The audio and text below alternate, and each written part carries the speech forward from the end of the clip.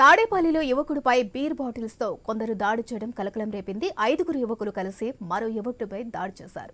మహానాడు రాత్రి సమయంలో ఈ ఘటన చోటు చేసుకుంది. ఈ దాడిలో యువకుడికి తీవ్ర గాయాలయ్యాయి. ఇక తనను హత్య చేసేందుకు వారు ప్రయత్నించారని పారిపోయి ప్రాణాలు రక్షించుకున్నట్లు బాధితుడు తెలిపాడు. అయితే తాడేపల్లిలోని సీఎం నివాసానికి దగ్గరలోనే ఈ ఘటన జరిగింది. మేము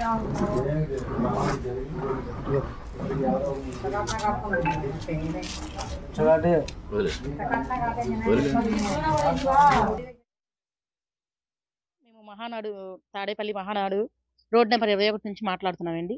మా పిల్లలకి ఇలాగ ఆ రోజు పని దగ్గర నుంచి వస్తున్నారండి. దానిలో ఇరవై ఒకటో నెంబర్ డౌన్లోడ్ దిగంగానే తాగుబోతులు అక్కడ చాలా మంది ఉన్నారు. వీళ్ళేమో మా ఫ్రెండ్సేనేమో అనుకొని పలకరించారు. ఈలోపు వాళ్ళు ఏం చేశారంటే మేము పలకరించి ఏంట్రా ఇక్కడున్నారు అని చెప్పి ఇలా తిరిగి చూసేలోపు వాళ్ళు కాదు కాకపోయినా సరే వాళ్ళు ఏమో వేరే వేరే లాంగ్వేజ్లో మాట్లాడుతూ మా పిల్లల్ని కొట్టారండి. ఫస్ట్ ఈ బాబుని కొ- ఈ అబ్బాయిని కొట్టారు. కొట్టిన తర్వాత ఈ అబ్బాయి పక్కన మా అబ్బాయి ఉన్నాడు. ఏంట్రా ఎందుకు కడుతున్నారు? అని అడిగితే చాలా నాన్సెన్స్గా మాట్లాడుతూ ఆ అబ్బాయిని పొడిచేశారండి కానీ మాకు మాత్రం ఏమే విధంగా కూడా న్యాయం జరగట్లేదు. ఇలాగే ప్రతిసారి కూడా మా అబ్బాయికి రెండో రెండో అబ్బాయికి కూడా ఇలాగే కొట్టారండి. అప్పుడు కూడా న్యాయం జరగలేదు. ఇంకా పార్టీ వాళ్ళు అని చెప్పి పార్వతక్క అని చెప్పి పెట్టాము. ఆవిడ దగ్గర కూడా ఆవిడ కూడా ఏం న్యాయం చేయలేదండి. ఆ రోజు పని ముగించుకొని వస్తున్నా ఉన్నా వస్తుంటే రోడ్డు దిగితే తెలిసిన వాళ్ళు ఏమో అనుకుని బండి ఆపాం.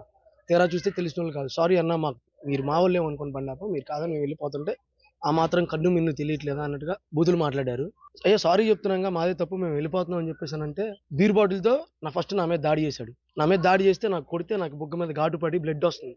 ఏం జరిగింది? ఎందుకు కొడుతున్నాడు మా అన్నయ్య? అని చెప్పేసి అని మనోడు వస్తే నా కోసం అదే బీర్ బాటిల్తో మనోడిని పడడం జరిగింది. జస్ట్ మిస్ వెనక్కి తిరిగాడు.